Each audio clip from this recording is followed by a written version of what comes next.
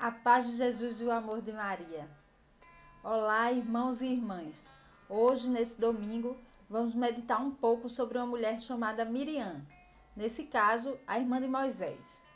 Lembram que meditamos sexta passada sobre a filha do Faraó? Pois é, pegaremos o mesmo texto bíblico para meditarmos hoje sobre Miriam. Pegue sua Bíblia em Êxodo 2, 3 a 6 e leia comigo. Não podendo, porém, mais escondê-lo, tomou uma arca de juncos e a revestiu com barro e betume, e pondo nela o menino, a pôs nos juncos à margem do rio. E sua irmã postou-se de longe para saber o que lhe havia de acontecer.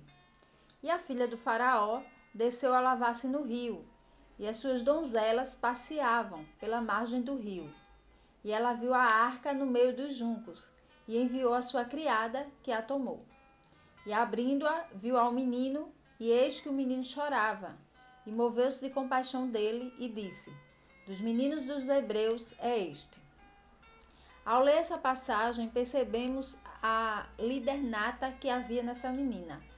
Uma pessoa que é líder por natureza, ela sabe analisar as situações, tomar decisões imediatas e com muita cautela e determinação executar aquilo que tem que se executar e sem demora.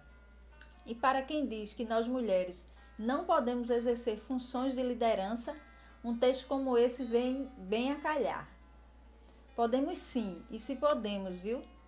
Vejam, Miriam sabia que seu irmão mais novo estava em perigo e a mãe dele não poderia ficar com ele, pois o faraó havia mandado matar todos os meninos que, que nascessem das hebreias. Então a mãe providenciou tudo e colocou o menino no rio, para não ser morto pelo faraó. Que triste. Mas Miriam foi rápida. Ela tomou as devidas providências e mais, ela não se contentou em ver o menino lá no rio. Ela quis certificar-se de que o menino iria ficar bem. E a palavra diz que ela ficou observando de longe o que acontecera com aquele menino. Então ela pôde avistar que a filha do Faraó percebeu o menino e teve compaixão dele. E nesse momento Miriam foi muito safa. Ela se aproximou e deu um checkmate.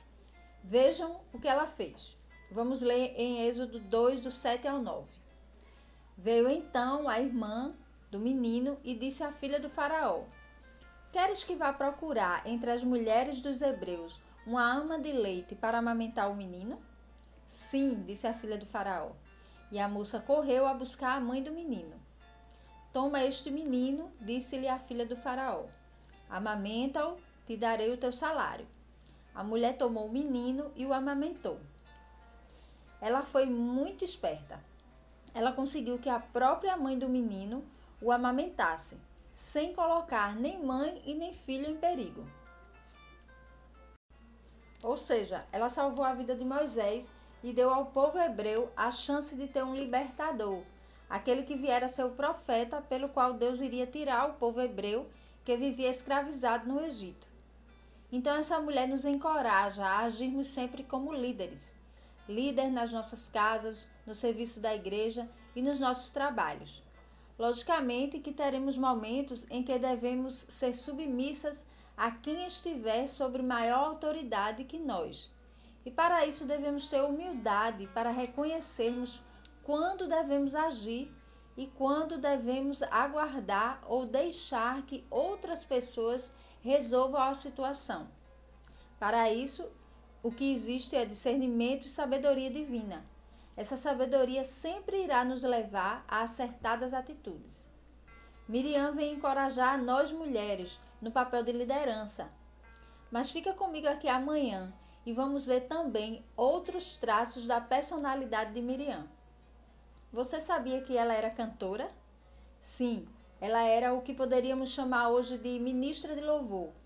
E ela bem colocou os seus dons e serviços a serviço do Senhor.